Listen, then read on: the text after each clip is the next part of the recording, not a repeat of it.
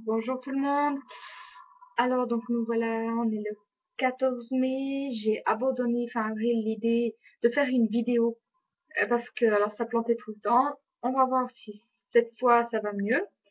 Mais ouais, après m'être euh, reprise quatre fois pour faire ma vidéo, je me suis dit que pour trois livres c'était pas très grave. Je pouvais rajouter au bilan d'après. alors voilà. Donc euh, moi j'ai vraiment pas beaucoup lu. Euh, ouais, je peux même pas trop dire que c'est des, des, grands pavés. Pour un oui, mais ah pardon, pas pour les autres. Alors bref, ce que j'ai lu donc. Enfin oui, c'était pour le Chapelier fou. Euh non, pas le Chapelier fou. Le Challenge ABC de Nanette. J'ai lu le tome 2 du cycle des 7 de Nora Roberts chez J'ai lu, donc le rituel. Euh, Nora Roberts, c'était donc une auteure que je lisais beaucoup quand j'étais ado euh, ouais, 15, 16 ans, etc. Et en fait, euh, bah, j'avais une fois pris le 1, beaucoup aimé, j'avais acheté le 2 et 3, et jamais lu. Donc, euh, bah voilà, je l'ai mis, euh, je l'avais mis pour le challenge ABC pour le lire. Et puis, bah, vu qu'il était assez court, je me suis dit que j'allais le, vraiment le sortir de ma PL, faire cet effort. Et puis, bah, effectivement, j'étais un peu perdue parce que il y a plein de choses du 1 qui sont pas reprises dans le 2, ce qui fait que, voilà, j'avais pas d'excellents souvenirs du tome 1. Euh, c'était un peu difficile parfois, mais à part ça, ben voilà, lecture détente. Moi, c'est tout ce que je demande à Nora Roberts, hein, c'est de faire passer un bon moment tranquille avec euh, des personnages qui, malgré tout, sont toujours les mêmes. Mais euh, bah voilà, quoi, j'ai passé un bon moment. Et ensuite, un, coup de cœur habituel pour moi, c'est bah, les éditions Screenio Jeunesse, hein, que que j'apprécie énormément. Euh, et puis ici, Screen... et j'ai fait la connaissance de... Oh, ça... ouais. C'est bon. Pardon, ça plantait. Euh, donc, euh, si j'ai connu Screenio, c'est par Léo Conteur de Perru et Max Père. Et là, je suis enfin au tome 3. Euh, toujours que du plaisir, une intrigue qui s'étoffe euh, de mieux en mieux à chaque tome, un bon rythme, des personnages attachants, bah, justement auxquels on s'attache de plus en plus. Euh, ouais, ça, je sais pas comment dire. C'est vraiment toujours que du plaisir. Et puis de mieux en mieux au fil des hommes. Ce qui est rare pour une saga, des fois ça s'essouffle ou ça stagne ou voilà, ou c'est moins bien. Mais non, ici c'est chaque fois mieux. Préféré le 2 au 1 et le 3 au 2. Donc je me réjouis de lire le quatrième en espérant que ça continue sur euh, la lancée. Euh, puis quoi d'autre? Ben oui, ben, j'apprécie beaucoup dans les hauts compteurs le fait qu'ils reprennent des, superstitions des superstitions qui existent hein, vraiment euh, comme cadre finalement euh, pour l'histoire et ils rendent ces superstitions réelles. Donc ça je trouve que c'est vraiment très très sympa. Ensuite, j'ai lu donc euh, bah aussi une, série un peu nostalgique pour moi. C'est euh, Tsubasa. Euh, j'ai lu le tome 4. C'est vrai que donc c'était, comme je l'avais déjà dit, mon premier animé que j'avais regardé. Puis les dessins me rebutaient tellement au niveau du manga que j'ai pas lu euh, pendant des années. Et puis ben, voilà, c'est vrai que ça me titillait toujours. Et les l'animé s'était arrêté après l'épisode 52 et j'ai jamais retrouvé la suite. Donc je me suis dit que si je voulais savoir la suite, il fallait que je les mangas. Puis Yumiko va très gentiment me prêter tout le reste de la série avec les XXX Solic aussi. Donc euh, ça va être super. Je me réjouis de découvrir tout ça. Ensuite, euh, mois de mai, bah, j'ai lu deux livres pour l'instant. J'ai non plus le tome 1 de Anita Blake. Euh, de la Reine Mutant, Jimmy Lady. Que dire, que dire euh, on va commencer par le positif. Euh, j'ai beaucoup aimé l'héroïne. Euh, moi, j'ai beaucoup aimé que quand elle, quand elle a peur, elle tremble, que quand elle a la rage, elle donne tout ce qu'elle a. Enfin bref, je trouvais que c'était pas une ces éternelles héroïnes qui cassent la baraque et puis qui n'ont jamais peur, qui sont toujours tellement super fortes. Et puis, bah, elle, non, quoi. Malgré tout, je l'ai trouvée assez réelle, enfin, assez réelle, euh, réaliste. Donc ça, j'ai beaucoup aimé. Par contre, c'est vrai que tout est cliché, quoi. Moi, j'aime pas ces, ces, vampires ou vraiment l'éternel pieux, donc euh, faut les tuer, euh, ou les balles en argent qui, euh, qui les affaiblissent. Euh, J'ai pas trop aimé non plus toutes ces histoires de zombies, de ghouls. Le métier même d'Anita me rebute complètement. Enfin, ça me procure aucun plaisir de dire ça. Euh, ouais, enfin bref.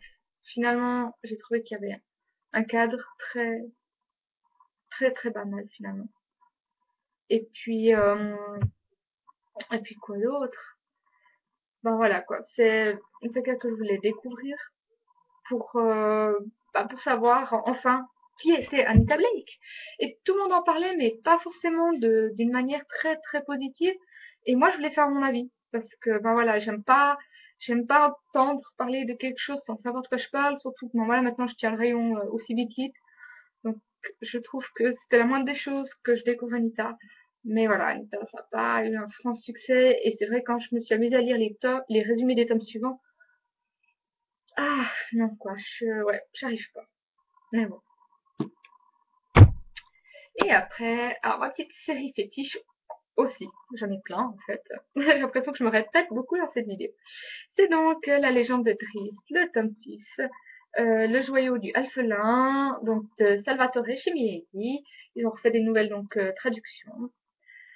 Ah, j'adore, j'adore. Euh, j'ai lu ça, j'ai lu ça, mon dieu, je sais plus parler. J'ai lu ça avec Faline, en future commune, elle va me rattraper euh, dans quelques temps. Son mari lui a piqué la tablette où il y avait le livre euh, dessus. Donc, euh, bah, elle me rattrapera, je lirai son avis avec plaisir. Puis j'espère qu'elle voudra bien continuer cette avec moi. Euh, une chose dans ce tome 6, bah, voilà, hein, que du plaisir. Il y a eu des scènes, j'ai adoré. Bruenor est irrécupérable. Vraiment adoré. Par contre, mais à la fin, il y a une... On, se cru dans Indiana Jones, hein, vous savez, euh, ce, personnage qui, qui, dort, qui aurait dû mourir dix fois dans un, dans un film et puis qui, qui s'en sort toujours, on ne sait pas trop comment. Et là, tous, quoi, mais ils sont blessés, des fois, ils sont là, ah, j'en peux plus, j'en peux plus, je suis trop, je suis trop mal, et puis, tac, ils voient quelque chose, ils sont là, ouais, nouveau, j'ai toute la motivation, j'ai nouveau la force, et tac, tac, tac, ils se redonnent, euh, ils redonnent plein de coups, ils tuent plein de personnes, et puis, après, de nouveau, ah, baisse de, morale, baisse de force physique, et tac, hop, il y a nouveau quelque chose qui se passe, ils sont de nouveau gonflés à bloc, et ça, au bout d'un moment, j'étais, mais, waouh, stop, quoi. Euh, non. je, je veux bien croire qu'ils sont forts, etc. Mais, alors, c'était soit, euh, soit faire plus court, hein, faire une scène finalement de combat euh, plus courte, avec le même nombre de blessures, ou alors qu'ils soient moins blessés, pour que ce soit un petit peu plus réaliste. Mais là, euh, vraiment, j'aurais cru Indiana Jones, quoi. C'est la première fois que que, que Drist m'agace à ce niveau-là. Enfin, Drist, le, donc le livre. Hein. Mais euh, ouais, j'espère juste que j'aurai plus de ce genre de scène de combat par la suite. Mais vraiment, en dehors de ça, c'était vraiment, bah voilà, 50 pages hein, sur, euh, sur les 460 pages, donc c'est pas très très grave, j'ai quand même eu du plaisir, c'est juste que c'était trop long. Alors voilà. Et puis, et puis, bah c'est tout. Alors, voilà, c'était pas mon son, je crois que je vous disais que j'avais pas beaucoup lu. Euh, ma lecture actuelle. C'est Maxime Chatham, La conjuration primitive, euh, Albin Michel, donc. Euh, voilà, il est assez... Euh, j'en suis où, moi? J'en suis là. J'adore. Euh, il y a... Ben voilà, il y a quand même 420 pages. Vous allez me dire, c'est écrit assez gros, mais... Je suis pas très rapide, j'ai pas eu beaucoup de temps de lire. Ça, c'est un livre qu'il faut lire une heure de suite et c'est ainsi, j'arrive qu'à le lire euh, par-ci par-là. Donc, euh, je sens que ça va prendre du temps. Euh, mais j'adore, j'adore, c'est super. Le seul problème, c'est que j'écoute dans la voiture un livre audio Franck Tillier, le syndrome E. Et c'est terrible parce que là-dedans, il y a aussi une histoire avec la lettre E. Et je, je sens venir gros comme une maison que les deux histoires vont se rejoindre sur la même thématique. Ce qui fait que là, j'ai décidé de mettre en pause le, le livre lu parce que je mélange complètement les deux histoires tellement pour l'instant, hein, j'en suis au début des deux, euh, elles se ressemblent. Donc euh, voilà, on verra bien, mais je vais favoriser Chatham.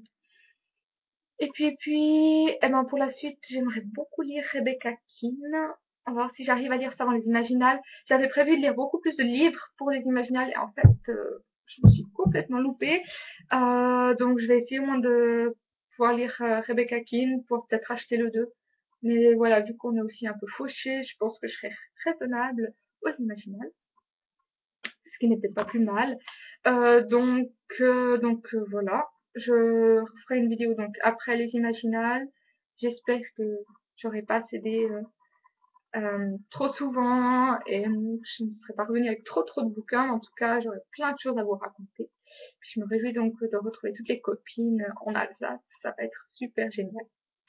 Alors voilà, moi je vous laisse. Euh, je vous retrouve à la fin du mois. J'espère euh, ben, vous aurez fait plein de belles lectures. N'hésitez pas à venir partager ça avec moi. Et puis ben, sinon je vous souhaite de très belles journées. Bye bye